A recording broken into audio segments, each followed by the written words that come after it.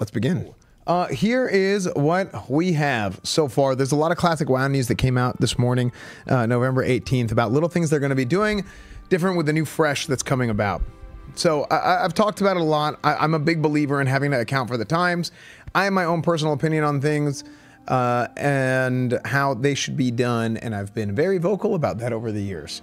I'm I'm actually not like a big no changes guy. You know, like there's a lot of people that are like no changes, no changes, but I but I'm not a huge no changes guy, and you can look on some of my old videos.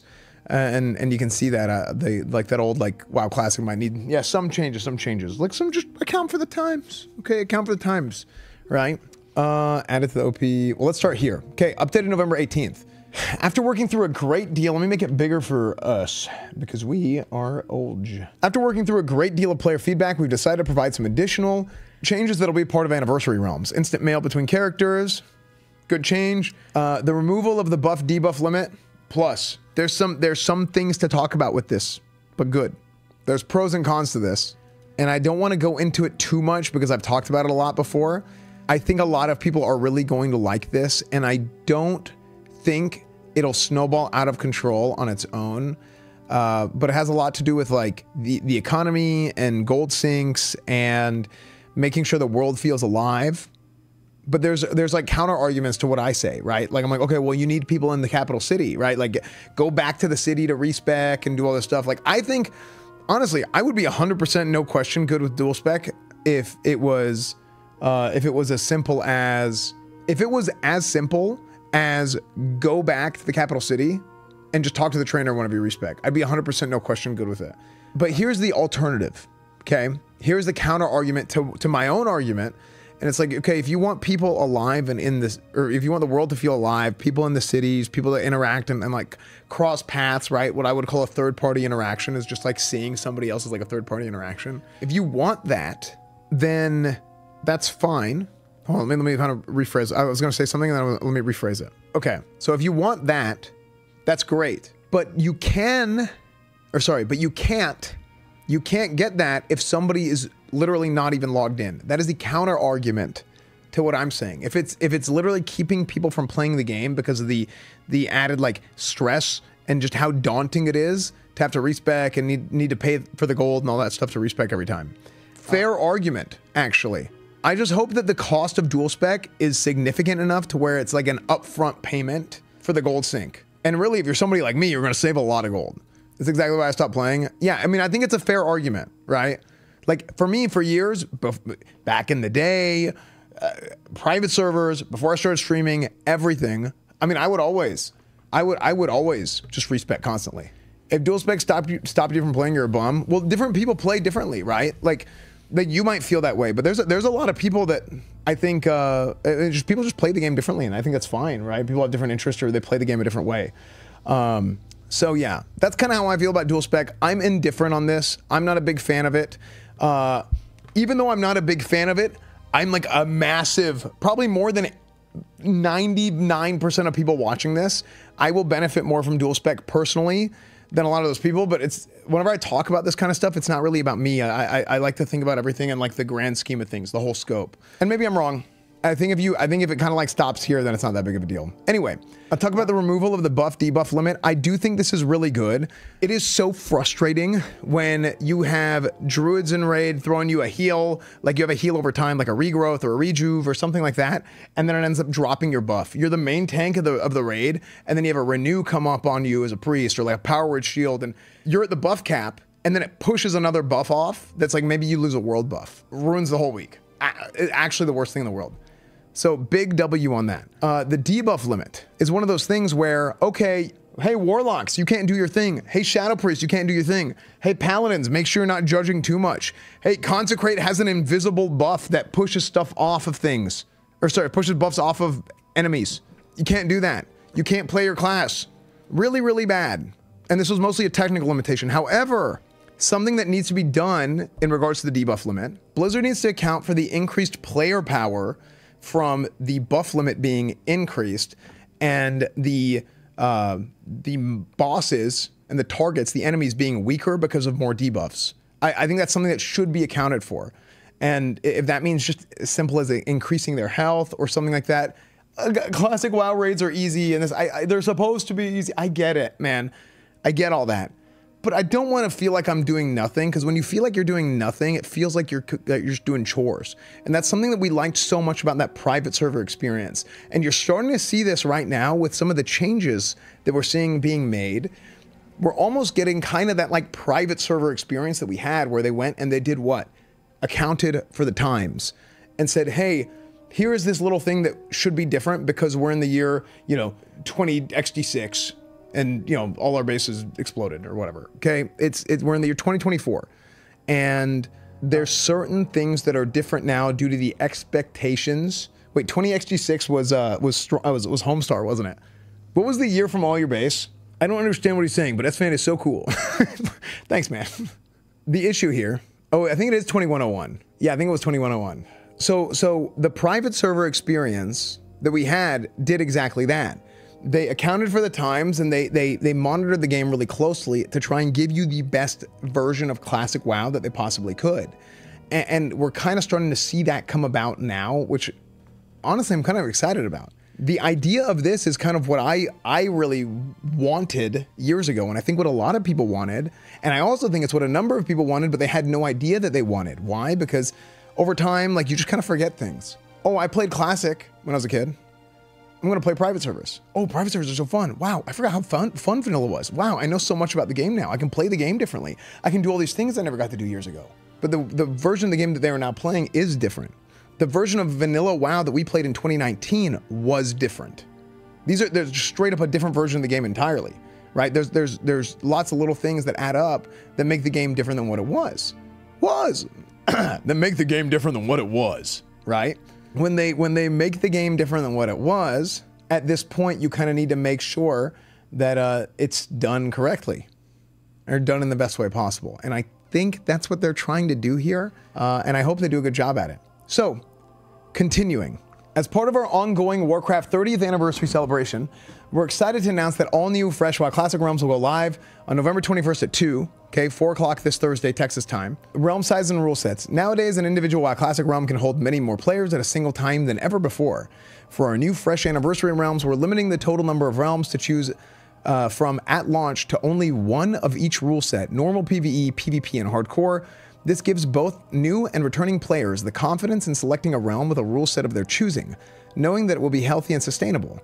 We may choose to open additional realms for a given rule set if needed to address player demand, but it is our intention to limit the total number of realms to as few realms as possible. When we first launch, we expect some queuing. As we will gradually increase realm capacity caps in real time to fit the number of players logging in, we ask for your patience and understanding if you encounter a queue right after launch time. Burning Crusade Classic. We're particularly excited to reveal that normal PvE and PvP Fresh Anniversary realms will progress to Burning Crusade Classic. After we progress through the Classic era content phases, this will be our first visit back to the start of this beloved expansion since its launch in 2021. Woo! Burning Crusade! Here's what I wanted. I, I was hoping they would have done a Burning Crusade Fresh. I would be head over heels if they did a Burning Crusade Fresh. I, I, I, I would have rather had that than the vanilla Fresh that they're doing now. I talked about like the economy stuff, right? There's there's like a lot of there's there's a lot of damage that the server takes in the two years, or actually I don't know how long it's gonna be. Maybe maybe like a year. I don't know how long they're gonna do it. I don't know how long it's gonna take uh, for them to go Burning Crusade Classic. I mean, I think a healthy speed is like a year and a half. That's faster than it was years ago. Anyway, our new hardcore anniversary realms will not progress to Burning Crusade Classic. But yeah, long story short, uh, I mean, I I'm excited for Burning Crusade. Like I would like to see. I, I would. I want an arena again, man. I like. I, dude. I miss me and Grayson. Freaking hey. Let's get like freaking settle and do like when we had like the crew. We had settle, Duop, me, Grayson, and Eric. You know, we I mean, we had a we, we we would rotate all kinds of guys out, right? It was it was super good. But they're not gonna go hardcore. Or sorry, they're not gonna take Burning Crusade to hardcore or hardcore to Burning Crusade, which I think is reasonable. Uh, changes in oh okay okay, here we go. No changes in changes philosophy at launch. With WoW Classic Anniversary Realms, our goal is to preserve the spirit of what makes Classic WoW special. While we're not strictly following a no changes policy for these anniversary realms, our intention is to closely mirror the classic vanilla experience with minimal deviation from the 2019 version. See, I don't know why I, I don't know why they said this because the, the changes they've made already actually changes the game quite a bit. Like, do they not consider the changes that they're making to be that big? Because these are these are actually some fairly substantial changes. Like just just this alone, the the debuff limit stuff, the dual spec. But maybe maybe what they're talking about specifically is class design. Yeah, but this is this is substantial. They've they've made some pretty substantial changes. From a from a game design standpoint, it's it's way different.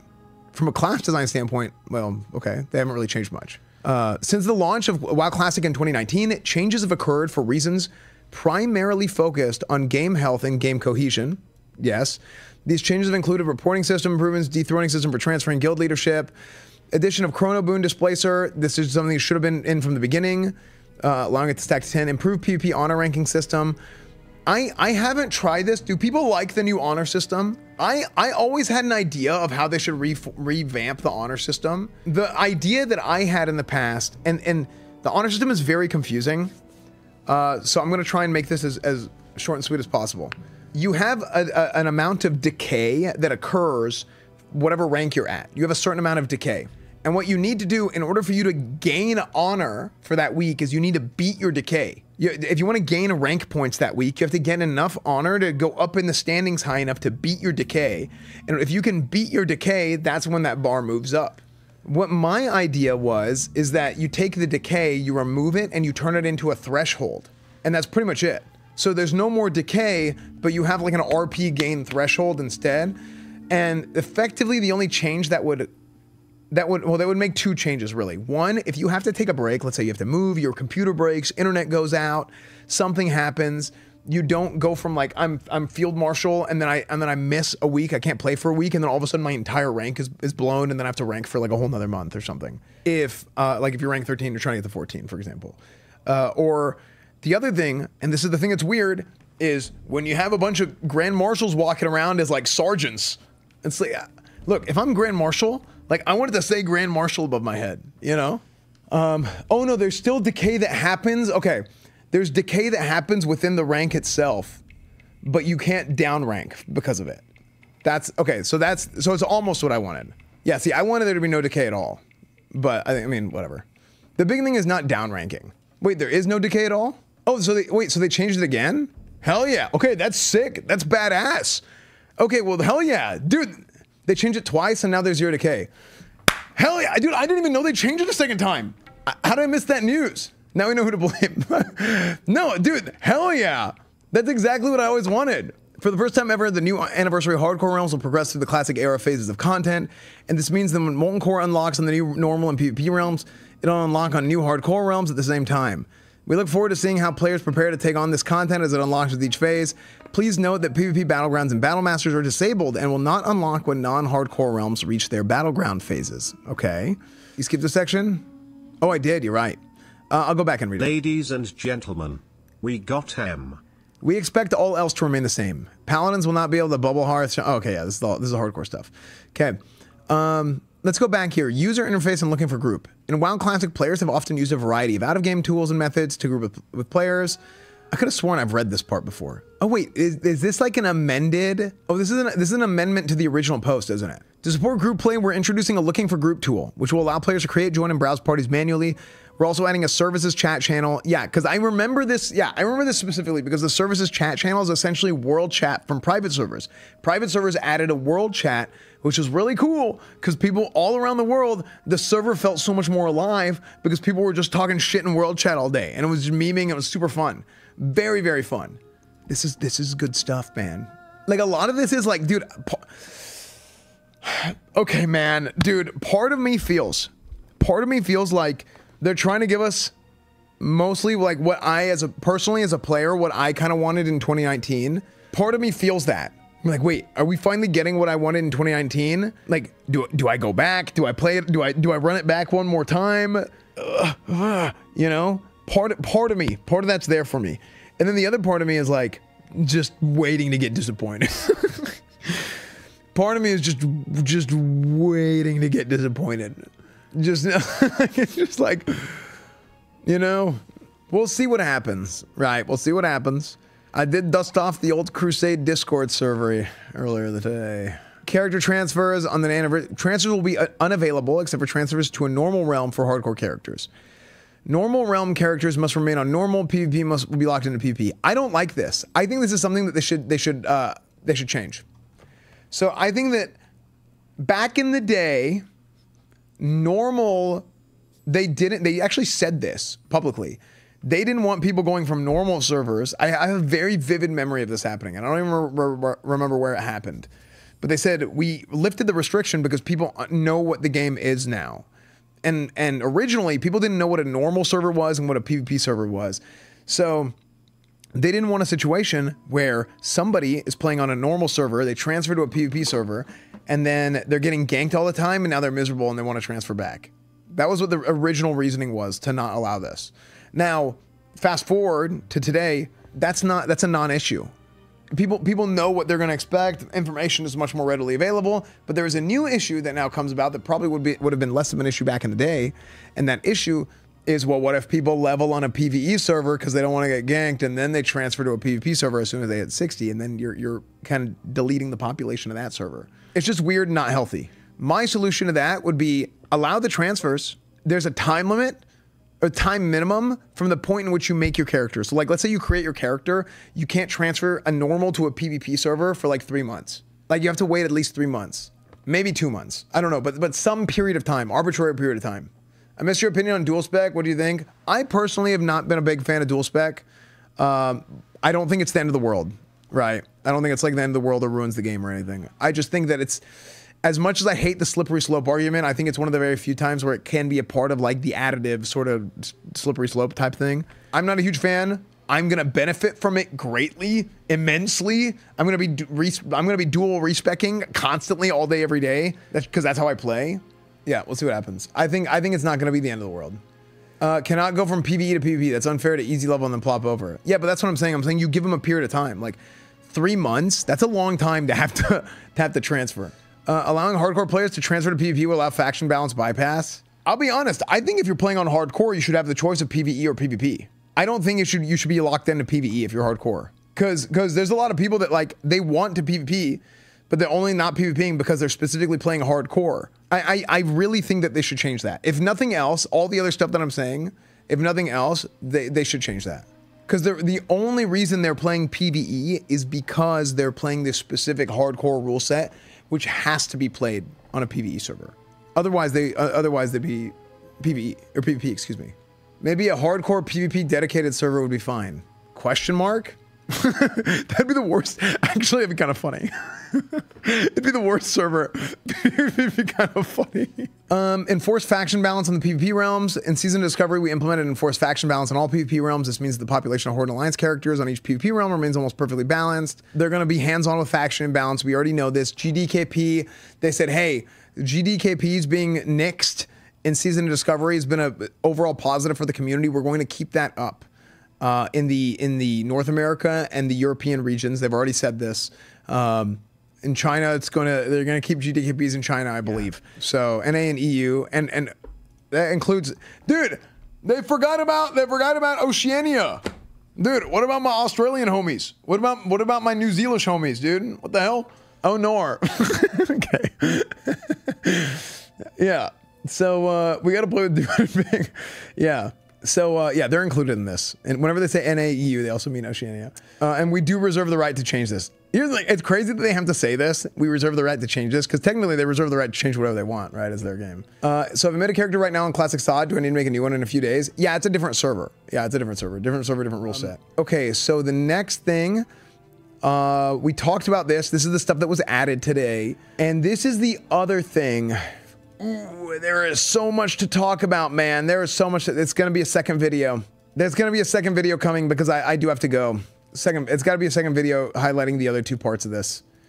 Yeah, we already talked about like the original message. We, we talked about the amendment. Yeah. We're gonna we're gonna we're gonna do a we're gonna do a second video. Uh, and I, I haven't really looked at the other stuff quite yet, but stay tuned because I will. Uh, that'll be in the next video. Hope you guys enjoyed. I'll make a second video talking about all the other stuff. Make sure to subscribe to the channel. Everything is Esfand TV. YouTube, Instagram, Discord, Reddit, Twitch, Twitter, TikTok. Uh, everything is Esfand wow, TV. Wow is back. Wow is back, baby.